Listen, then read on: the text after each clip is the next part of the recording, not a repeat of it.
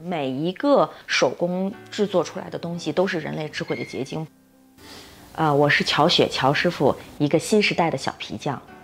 也是我们乔家手工艺的非遗传承人。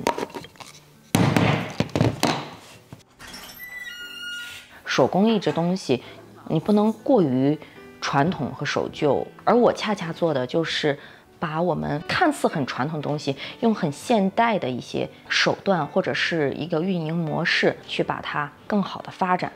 Hello，大家好，欢迎大家进入乔师傅的直播间啊！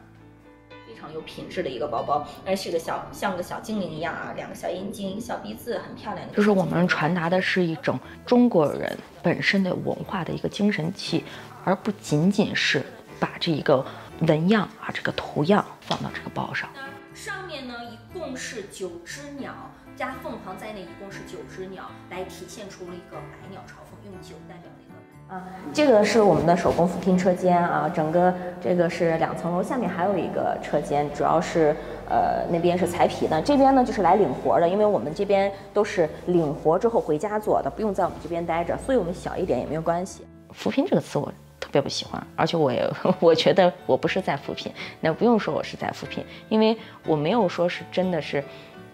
我去一味的帮助他们，因为我在投入的同时，我觉得他们也在帮助我。这个是唐阿姨，是我们的车间主任。这个两个阿姨都是我们一七年年底的时候第一批的学员。他们缝出来的东西，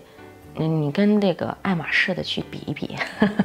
是不差的啊，都是一样的方法，非常非常棒。我今我是是怕做不好哦，做不好，呃、给乔乔的东西也浪费了，呃，做不出这个东西。后头我就，哎，既然答应了啊，我就一直坚持，我就坚持。我对乔乔就跟我的儿女一样。那这些阿姨、奶奶，他们给我了很多的力量。女人的想要承载的的这些各种各样的责任太多了吧，让我基本上这几年是没有睡过一个整觉，因为两个孩子接在一起，哺乳期，每天晚上，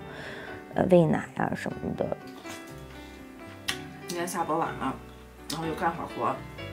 导致现在两点了才能吃上饭。我一直在想，如果要没有结婚的话，我会不会像我这样的工作狂，会不会二十四小时工作？但是，就是你在做你自己的同时，你也要做好一个妈妈。当我把两个孩子搂在怀里的时候，我很庆幸是一个女人，很庆幸能成为一个妈妈。对于我来说，我觉得匠心是一种不忘初心的传承。更多的是对于一件事的一个执着，对于你自己认定事情的一个坚持。